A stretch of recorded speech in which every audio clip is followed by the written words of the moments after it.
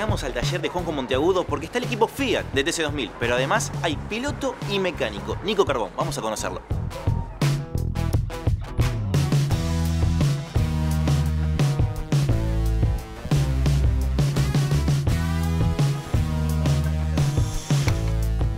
Nico, ¿cómo es esto de ser piloto, mecánico, estar en el equipo, arriba y abajo del auto? Eh, bueno, la verdad que nunca pensé que, que iba a llegar a este, a este punto, pero eh, lo estoy viviendo y, es muy lindo. Puedo decir que, que estoy aprendiendo bastante abajo de- del auto, tratando de, de- de seguir aprendiendo eh, día a día con los chicos. Y bueno, eh, contento, contento por, por lo que estoy viviendo en este momento de mi vida. ¿Cómo se dio todo? ¿Cómo llegaste acá? Bueno, vos, vos sabés que nos conocemos del karting ya. Yo había laburado seis meses en el ASB Motorsport, después laburé con Brian Mankevi en un taller de barrio allá por Paternal. Y bueno, más o menos tenía una idea de, de lo que era laburar en un taller con un auto y bueno, de, de la pasión me llama, así que ahí ¿Cómo fue el recibimiento cuando viniste acá?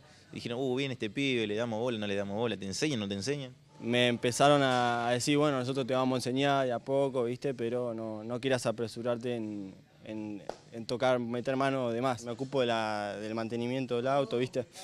Eh, cuando vuelve la carrera, a veces hay que sacar el motor, eh, limpiarlo, eh, limpiar todo lo que sería el tren delantero del auto, tren trasero, también los plásticos me encargo y de que, que te- quede todo más o menos en orden para que los chicos puedan laburar bien.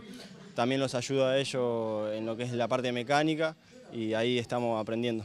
¿Qué te puede ayudar ser mecánico a la hora de subirte al auto? Mucho me puede ayudar. eh, arriba del auto el día sábado tuvimos una rotura de dos patas y informé por la radio que me estaba vibrando mucho. Me decían que entra a cambiar goma, pero de nuevo volví a avisar que estaba vibrando mucho. Igual ahí fue más como piloto, ¿no? Porque era fácil detectarlo, pero ya sea un más mínimo el- el- la vibración, el coso, ya puedo llegar a darme cuenta, viste, más fácil. Fue mi primera experiencia como mecánico y piloto del mismo fin de semana.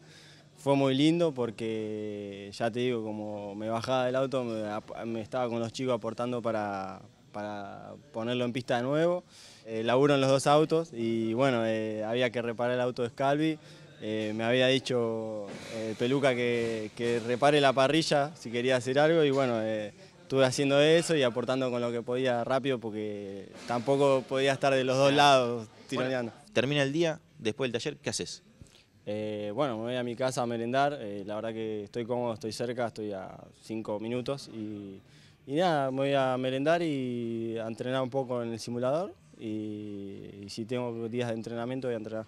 Hablaba y te decía vos, piloto, mecánico, mecánico, piloto. ¿Fuiste modelo también?